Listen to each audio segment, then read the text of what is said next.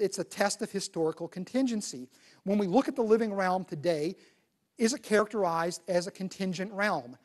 Uh, do we see any evidence in which we would interpret it as evolution having repeated itself when we look at things from an evolutionary perspective? And so, what I'm doing here, in essence, is I'm testing the mechanism for evolution, but I'm not doing this directly, but I'm doing it indirectly. If evolution's mechanism is true, if historical contingency, which defines evolution's mechanism, is ultimately responsible for the living realm today, then we should see a certain pattern. We predict a certain pattern, non repeatability. However, if we see another pattern, that calls into question the validity of, ev of evolution. So, this is what I'm going to be talking about today. Uh, and, and this is where the concept of biological convergence becomes so important. Now, we are poised at a time in which the techniques are available within the evolutionary biology community to really put this idea to the test in a comprehensive way.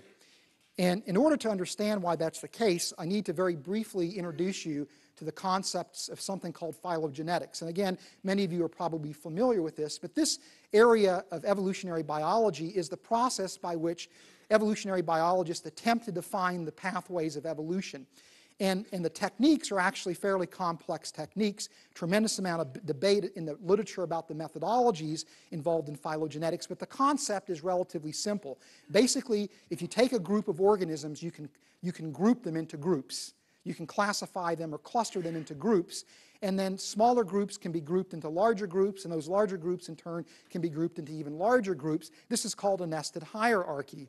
And then once this is done, evolutionists, in essence, interpret this in the form of an evolutionary tree, where they say that group within grouping within grouping is explicable through essentially descent with modification from a common ancestor, where the groups that are in existence today represent the tips of the evolutionary tree, and those groups that cluster together within a larger group must have shared a common ancestor, and that's represented as a node in the evolutionary tree. And you can repeat that process and work your way back to uh, uh, the most recent common ancestor with respect to the particular system you're at, looking at.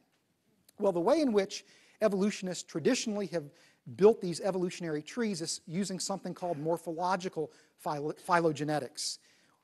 And this is essentially using anatomical features or physiological features to build evolutionary trees, looking for similarities and differences among the organisms, and then again interpreting it within an evolutionary context.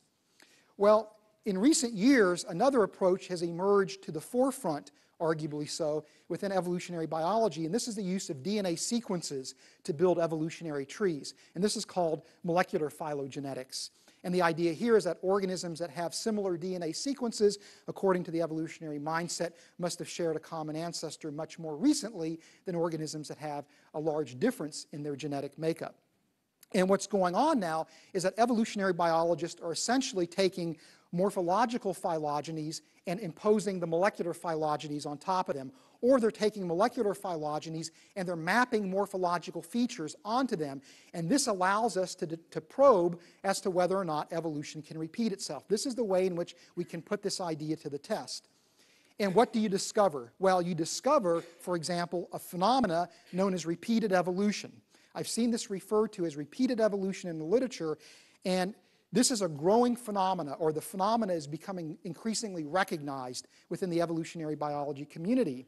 And what I mean by repeated evolution is it looks as if species that should have had, that are morphologically indistinguishable had independent evolutionary origins. Now, the evolutionary term is that instead of a particular species being monophyletic, it's either diphyletic or polyphyletic. What did I just say there?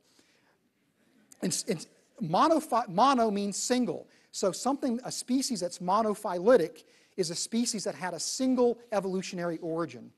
And, and presumably, uh, individuals that are morphologically identical or indistinguishable should belong to the same species and should have a single evolutionary origin because evolution doesn't repeat.